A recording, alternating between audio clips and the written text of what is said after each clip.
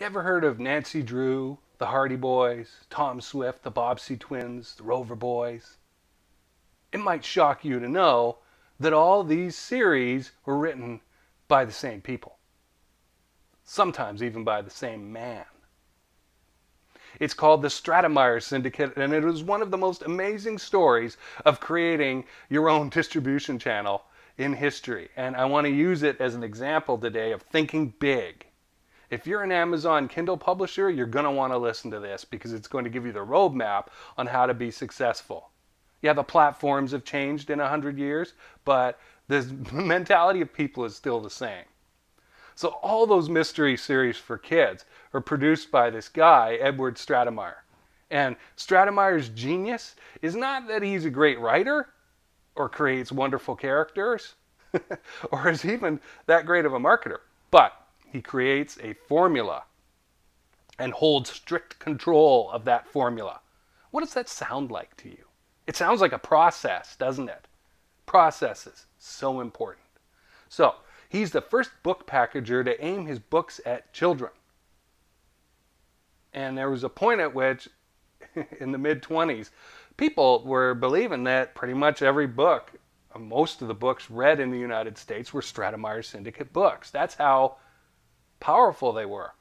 And the major thing that Stratemeyer Syndicate is selling here isn't, again, the stories or the characters, but the thrill of feeling grown up.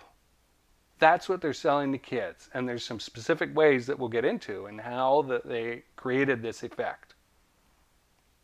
So, if you want to produce a large number of books quickly, well, first of all, you got to write. That's the first thing. But second of all, if you want to spread out, you don't want to look like you're, you're, you're spreading yourself too thin. So use pseudonyms, right? Uh, so that's what Edward does. He produces these series, the initial books, as uh, being written by different people. Right? The Bobbsey twins are under the pseudonym of Laura Lee Hope, and there's values to this.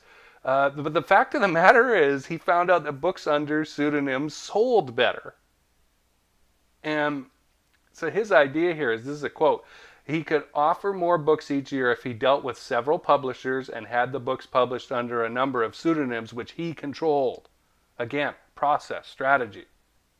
He explained his strategy to a publisher saying, A book brought out under another name would, I feel satisfied, do better than another Stratemeyer book. If it was brought out under my own name, the trade on new Stratemeyer books would simply be cut into four parts instead of three.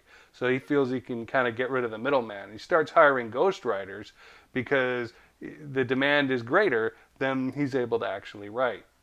So let's dig into these rules. What are the, the writing rules? What's the formula, the secret for thinking big here as far as churning out content goes? Well, he says all books will be part of a series.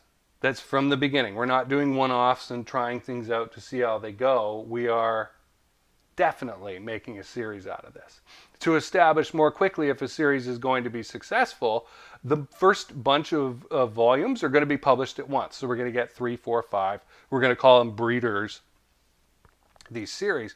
And so that, I mean, this is brilliant. It gives people something else to buy as well. Once they read one and like it, well, they don't have to wait and lose interest potentially, right? There's something else for them to buy right now. The books would be written under a pseudonym. We covered that already. There are many benefits to this, not just the publisher thing that we talked about, dealing with publishers, but it uh, provides an apparent continuity of authorship. So an author can die. It doesn't matter. The public never sees that. And, and also, you can have multiple ghostwriters coming up with stuff, new books, at the same time. It just looks like Mary Lee so and so is really prolific, right? The books, this is key, the books will look as much like contemporary adult books as possible with similar bindings and typefaces. Remember, I said that the big thing that Edward Stratemeyer is selling here is that feeling of being a grown up for kids, right? So this is helping sell that illusion. We're making it look like contemporary adult books. The books will be of a predictable length. That makes sense. We know what we're getting into. It's not 120 pages one time, 200 another, and 250 another time, right? This is critical. I love this as a writer myself. Chapters and pages Listen to that. Chapters and pages should end in mid situation to increase the, desire, the reader's desire to keep reading. I can't put it down. I don't know why. Well, it's designed that way. I love it. Each book will begin with a quick recap of all previous books in that series in order to promote those books. Yes, I'm familiar with Nancy Drew. I, oh, wait, I missed that one. I'm going to go back and buy that. Mom, we need to get that, right? Books might also end with a preview of the next volume in the series. Same thing, right? Positioning. Now, pricing positioning. The books would be priced at 50 cents rather than the more common 75 cents, a dollar, or a dollar and a quarter. So you're pricing yourself as a price leader, right? You are making yourself the discount shop it's easy for adults to buy. They can rationalize it to themselves. And the kids could also maybe afford them with their allowance or something, who knows. And then this last one is really important too. Characters should not age or marry. So early on, he had characters in series grow up and marry, but look what happened to the sales, they dropped right off. And so that promotes the syndicate to make this rule that characters should never marry.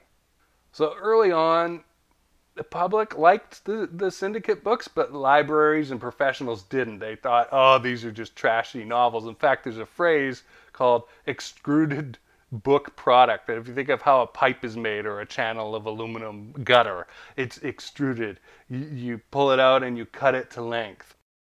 But as time goes on, people are gradually coming around to hey, kids are actually reading these books maybe they're not so bad and maybe we should promote them. At least they're reading something, right? At least they're reading this.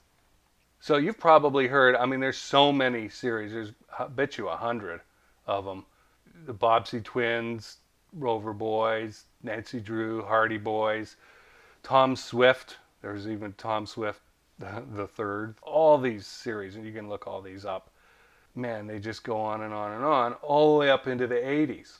Edward dies of pneumonia in 1930, and his daughters pick up the business. Initially, they want to sell it because the depression is on, but nope, can't sell it, so they need to uh, figure out what to do with this multi-million dollar empire now, right? They have the Hardy Boys and the Nancy Drew series, and that's what they're mostly pumping out and that. And they're hiring ghostwriters, giving them these formulaic extruded book product principles to run by. And uh, even as time goes on, though, I mean, all the way for like 45 years here, from the 30s through the 70s, this thing is really ticking along, pumping out books, making money in that. They have to revise earlier versions of the books because times and mores of society change. So sometimes they have to have the plots change completely and come up with a new story there's some racist text in there, cultural elements that change, so they've got to make it more wholesome in in the 50s, 60s, and whatnot, and uh, and fix this stuff up. Finally, it got into the 70s and 80s. There were some legal problems, uh, question of who actually owned the rights to the Hardy Boys and Nancy Drew. You know, who's going to publish this stuff? Really ended up being a, a question. Simon and Schuster ended up buying the syndicate in 1986. Now, this next bit, I got the notes straight from Stratemeyer.org, which I figure is their like formal site, talking about uh, how the ghostwriting worked. And again, this could be really important to somebody who wants to follow this model.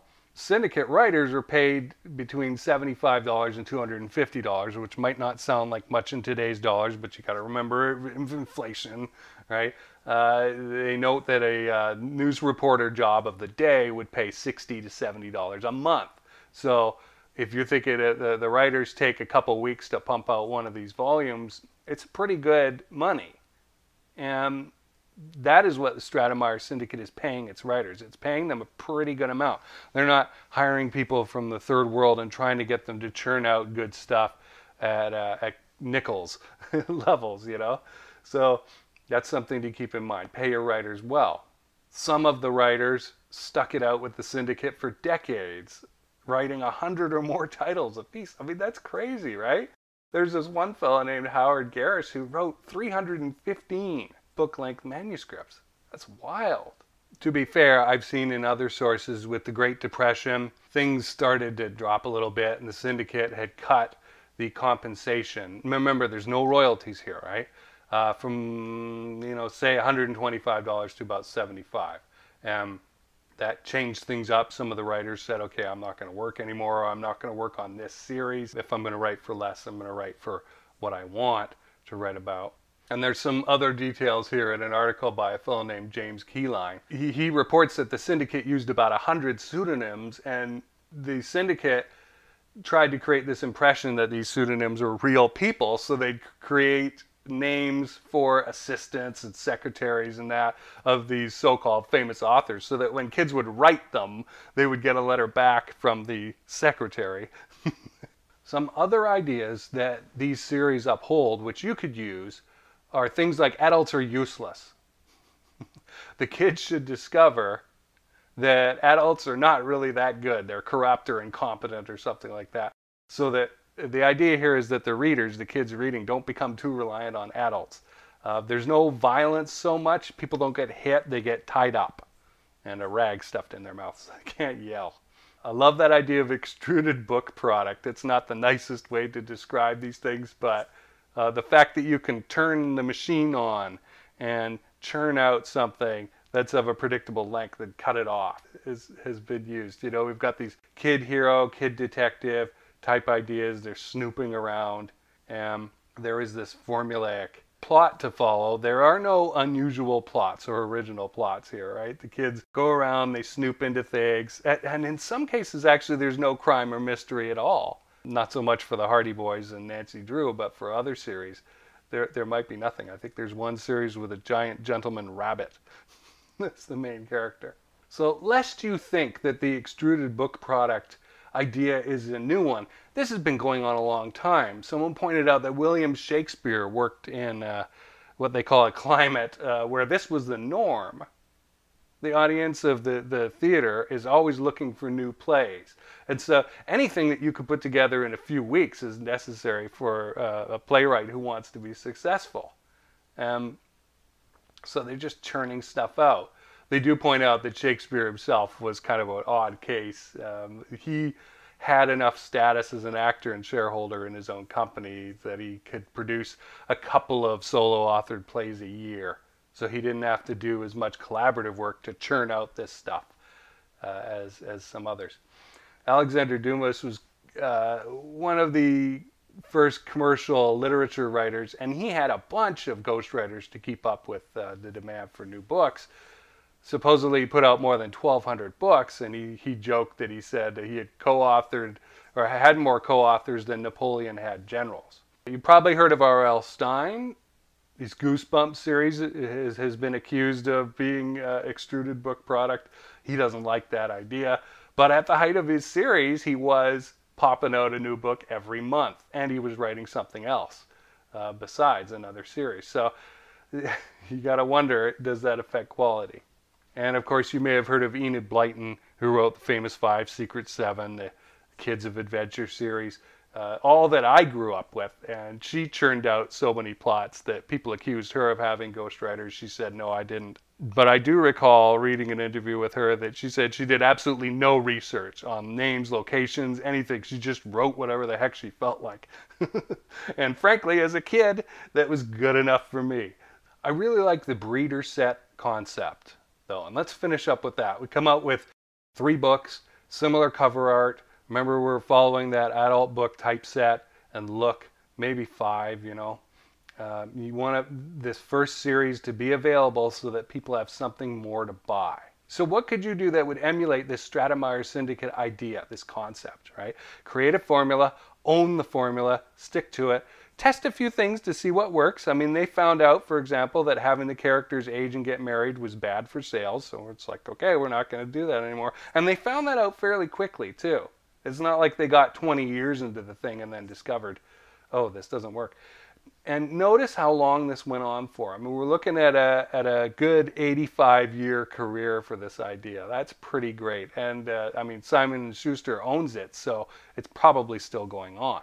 If you like this kind of concept, but you're struggling to come up with ideas for your own area or business, maybe we should speak. you can book a call to talk with me. And well, there's a heck of a lot of creativity over here. so, thanks for listening. This is Jason Kanigan from Cold Star Technologies.